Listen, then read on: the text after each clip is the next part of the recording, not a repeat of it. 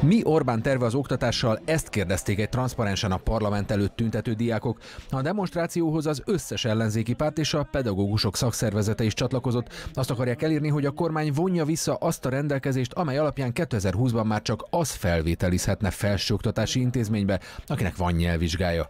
A diákok szerint bár szükség van nyelvvizsgára, ezt ma nem lehet megszerezni a közoktatásban. Úgy látják, csak azok szerezhetnek 18 éves korukra nyelvvizsga bizonyítványt, akiknek szülei ki tudják fizetni a külön órákat. Szeretnék megtanulni több nyelven, de nincs rá lehetőségem, mert nekem szükségem van rá, hogy valaki tanítson, viszont nincs pénzem külön tanárra. A civil közoktatás platform szóvivője szerint az országgyűlési képviselők olyan tudást kérnek a felsőoktatásba jelentkezőktől, amelyel maguk sem rendelkeznek. Jelen pillanatban a parlamenti képviselők 62%-a nem rendelkezik középfokú nyelvvizsgával.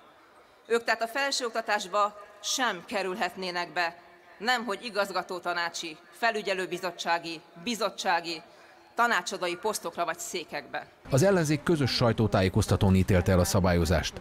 Ez a Fidesznek abba a politikájába illeszkedik, amelyik ki akarja rekeszteni a magyar diákok jelentős részét a továbbtanulásból. A Fidesz frakcióvezetője szerint politikai céljai vannak a tüntetőknek. A kormány célja teljesen világos.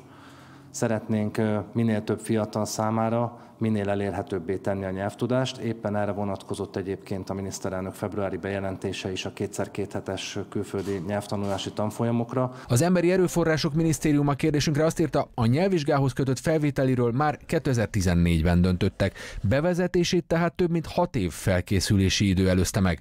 Hozzátették, a kormány segíti a fiatalok nyelvtanulását és anyagi terhet vesz le a szülőkről, mert ingyenesé tette az első sikeres nyelvvizsga megszerzését.